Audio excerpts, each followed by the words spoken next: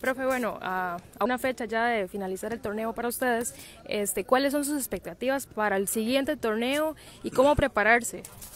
Bueno, buenos días.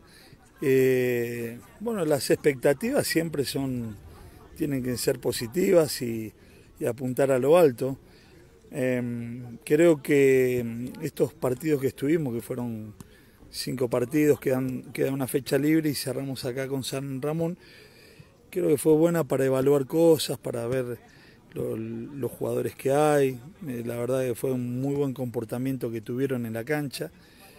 Y eh, bueno, hay que sentarse a conversar con, José Luis, con Dani, eh, hablar con, la gente de la municipalidad también para el convenio, para ver a qué, a qué se va a apuntar en la parte administrativa, en la parte futbolística, para hacer un equipo competitivo, ¿no? Cuenta con jugadores de bastante experiencia y también juega, cuenta con jugadores muy jóvenes y con mucho potencial. Sí, ese es el... Siempre en un equipo de fútbol siempre tiene que haber eh, esa mezcla. La gente de experiencia tiene que sumar, tiene que ser buen ejemplo. Y me encontré con una cantidad de jóvenes que la verdad que tienen muchas condiciones, aparte son buena gente, que eso es lo principal, porque si vos tenés un grupo desmembrado, que no, no piensan en lo mismo, el mismo objetivo, cuesta, ¿no? ¿Qué representa para usted estar dirigiendo el equipo de Desamparados, un pueblo que lo, que lo ha acogido?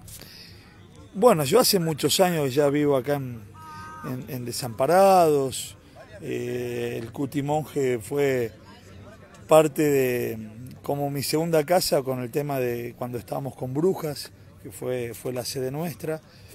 Eh, dar una vuelta olímpica acá, imagínate, así que tengo muy buenos recuerdos y muy contento con, con, el, con la, unión que, hubo con el, con el equipo Fútbol Consultas, con la gente de, Desamparados, porque yo creo que el objetivo de todo esto, aparte de, de hacer el papel eh, en la parte futbolística bien, es dar una, opción a, a, la juventud de acá de Desamparados que que es un cantón con mucha, mucha gente, mucha juventud, y darle la opción de, poder crecer, no solamente en lo futbolístico, sino también en, la parte social.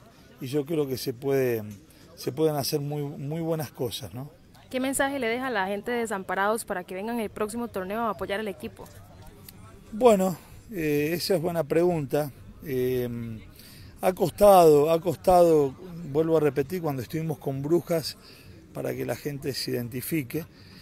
Eh, creo que ahora eh, se va a apuntar, como te decía recién, a, la juventud de acá, a tratar de, formar eh, jóvenes en la parte social y darle el apoyo en la parte deportiva y que tengan esa opción de, poder participar con Fútbol Consulta. Yo creo que es una, una buena opción para que la gente, los jóvenes se vayan acercando y vamos a trabajar, vamos a trabajar a, la formación a la formación integral de, todos los chicos y teniendo la posibilidad para poder venir acá a, realizar un deporte y a, y a, realizarse como persona y como profesional, ¿no? Así que espero que, se pueda eh, amalgamar, hacer un, buen grupo de trabajo para que, que puedan acercarse ¿no? continuamente la gente.